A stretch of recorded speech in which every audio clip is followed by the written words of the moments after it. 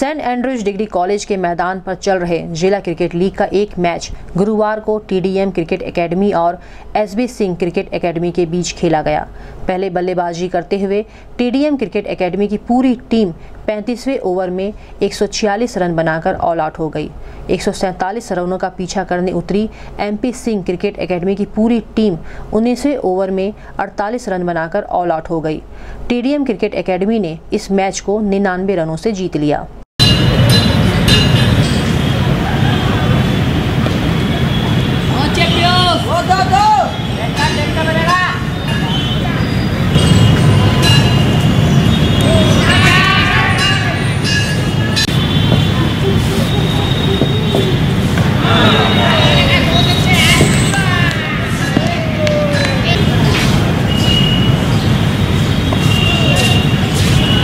Ah!